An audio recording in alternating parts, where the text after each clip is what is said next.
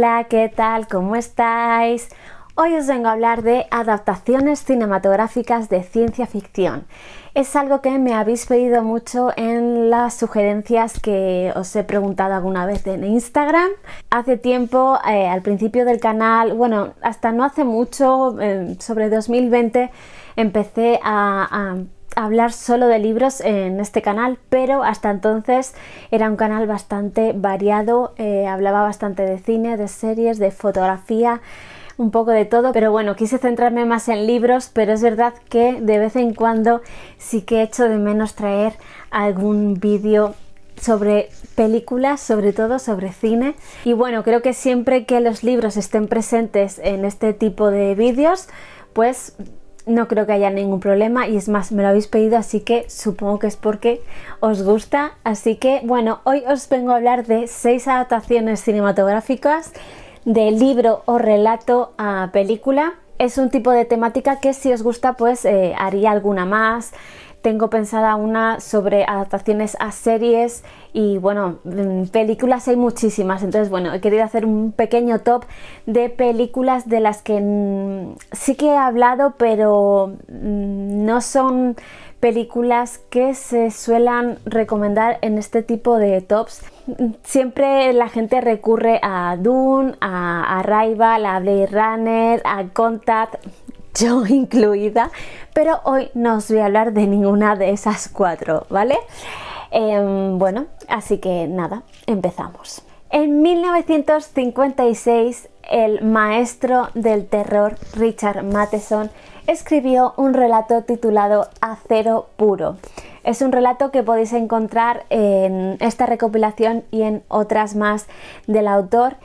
Y bueno, en 2011 se hizo una adaptación cinematográfica. Normalmente las adaptaciones de relato a, a película pues suelen ser un poco mm, versiones libres ya que para hacer la película pues se tiene que ampliar un poco más de información en algunos aspectos y bueno eh, pues eh, la película fue protagonizada por Hugh Jackman y dirigida por Sam Levy que es el director de eh, la mayoría de películas de Bourne y es, yo creo que es por lo que es más conocido. Es una película que yo vi sin ninguna pretensión. Realmente es una película que mi hermano me había dicho que le había gustado mucho. De hecho, creo que la primera vez que la vi, la vi con él y con mi cuñada en México y me encantó. Me lo pasé pipa. Mm, mm, me, calentó el corazón y la verdad es que fue una película que disfruté muchísimo y la esencia del relato de Richard Matheson está ahí, así que os lo recomiendo mucho, tanto la adaptación como el relato de Matheson, bueno, y todos en general, ¿no? Pero a Cero Puro es verdad que como que le tengo bastante cariño. En 1958 Robert Heinlein publicó un relato que se llama Todos vosotros zombies.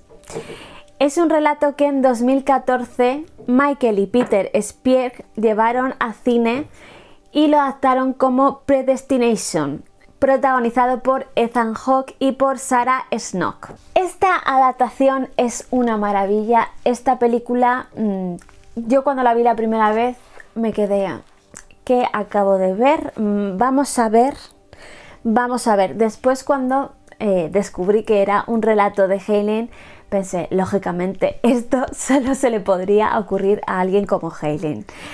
Me parece una maravilla de historia, de concepto, de esa paradoja de la que nos hablan en la historia y si no habéis visto es una película que os recomiendo muchísimo, pero os advierto que es un poco chocante, es un poco...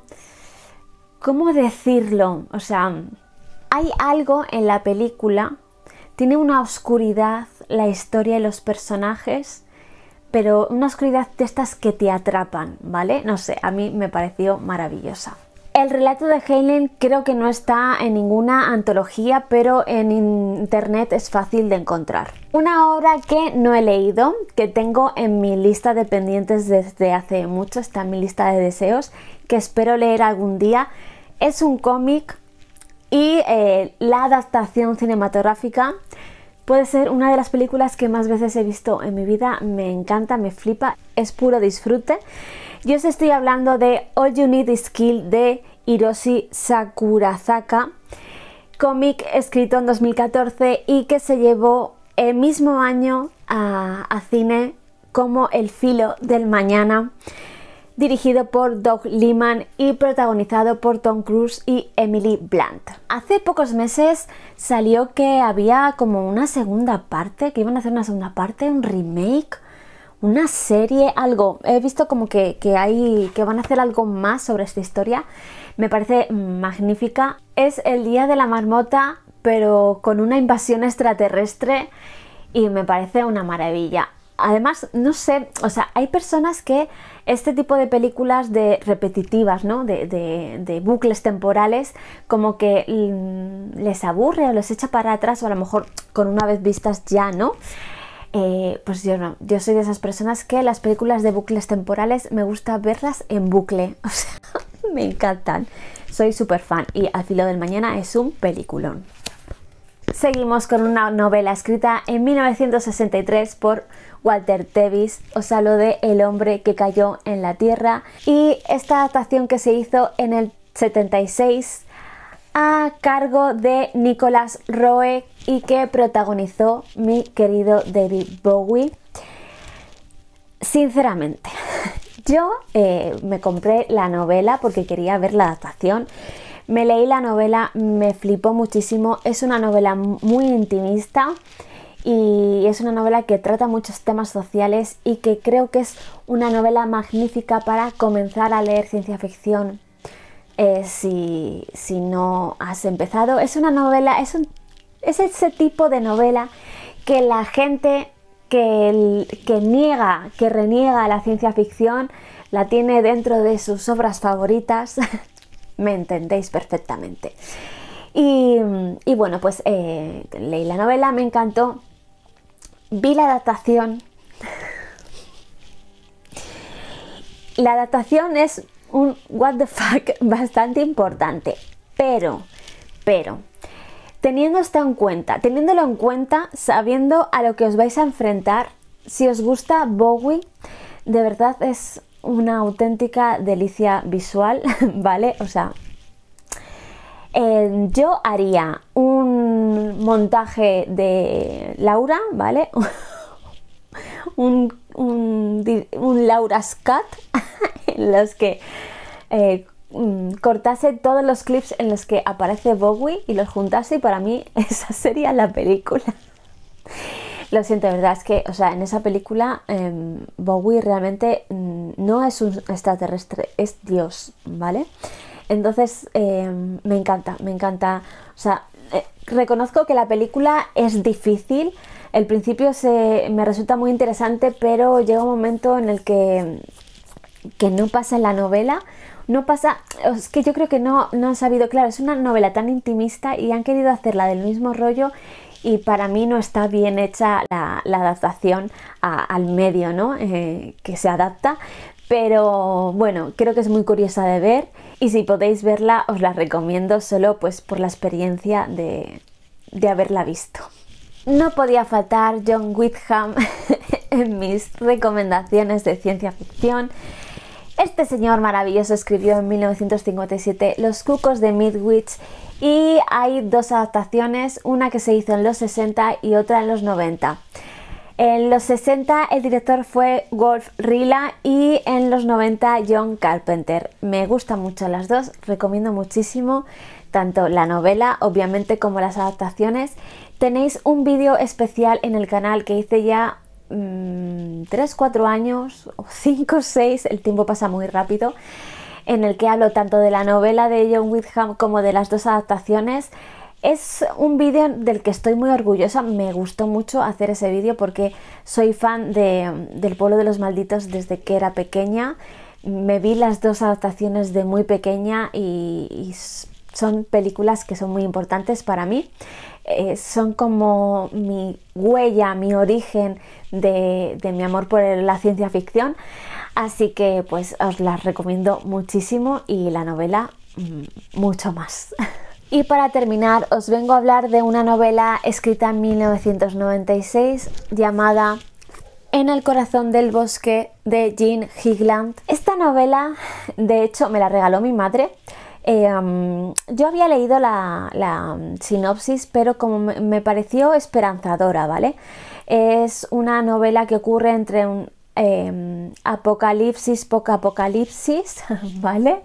Em, hay un cambio ahí tecnológico y bueno, es una novela bastante intimista porque pues solo podemos ver em, pues la vida de dos hermanas eh, mm, después de esta catástrofe, ¿no? de, este suceso y cómo lidian con ello y su evolución, el cambio que, les ocurre a ellas en la vida y, mm, y terminé esta novela con una sensación muy extraña, es como que terminé un poco con, rechazo, sobre todo con algunas ideas de las que se habla en la novela, pero es una novela de estas que me ha perdurado en el tiempo, entonces eso quiere decir que de alguna manera me tocó.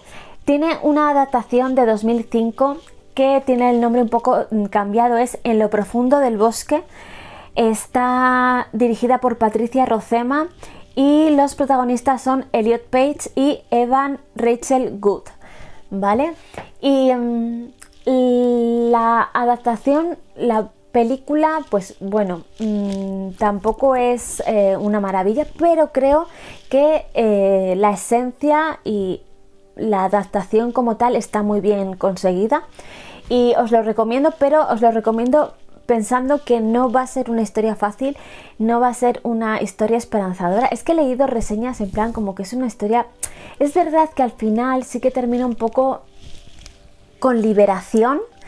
Es, verdad que al final sí que es esperanzador, pero el viaje de la novela en sí no es agradable en muchos aspectos. Entonces, bueno, yo ahí lo dejo, pero eh, aún así la recomiendo tanto el libro como la adaptación al cine.